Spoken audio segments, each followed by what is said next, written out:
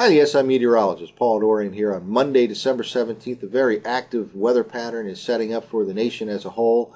Here in the Mid Atlantic region, we'll have to deal with several storms over the next several days. Cold air finally pours into the Mid Atlantic region on Friday behind a strong cold front that'll whip on through the region Thursday night into early Friday. It'll be noticeably colder, especially by Friday night and Saturday with windy conditions, maybe even an occasional snow shower here in the Mid Atlantic region.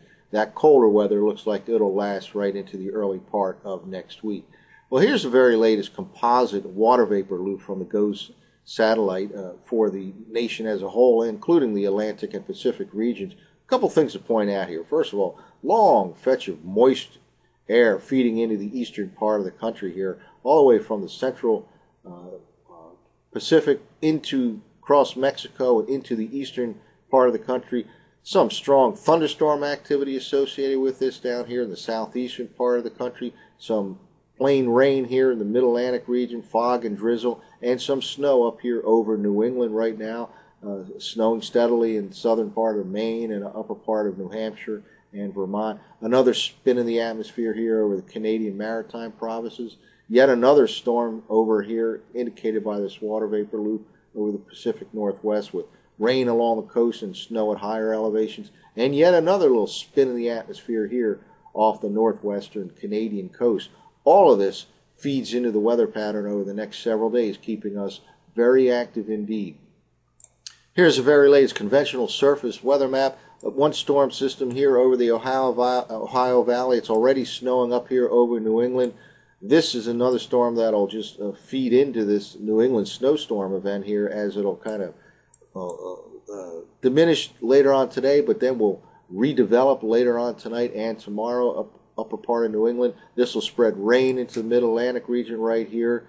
Uh, late this afternoon and tonight into the early part of tomorrow, and can cause some severe weather later on today over the deep south.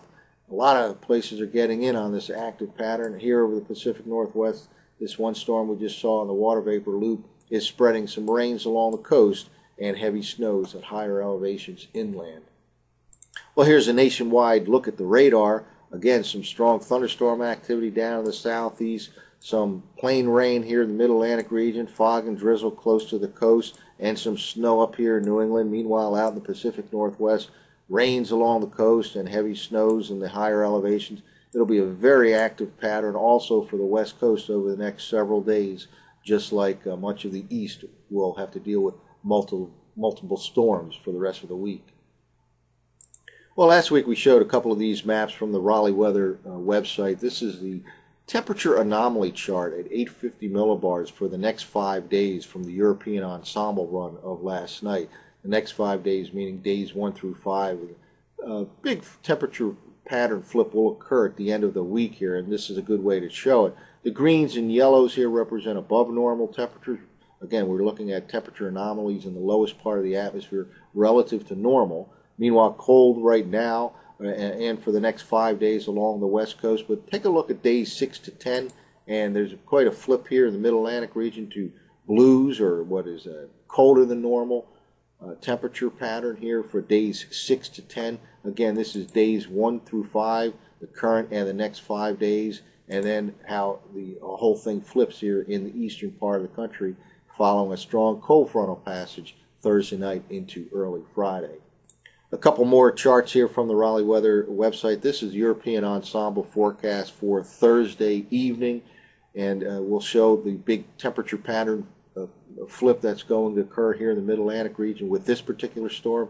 This is a snowstorm for the upper part of the Midwest, probably from Madison to Milwaukee, Chicago, maybe all the way to Detroit here, come late Wednesday night and Thursday into Thursday evening. There's a chance it could start as rain in Chicago, but then change to snow. Lots of cold air pouring in on strong winds behind it, perhaps 50 mile per hour winds here on Lake Michigan by the time Thursday evening rolls around. Meanwhile, warm on the eastern side, temporarily anyway, uh, going into the day on Thursday as that strong cold front is approaching the east coast.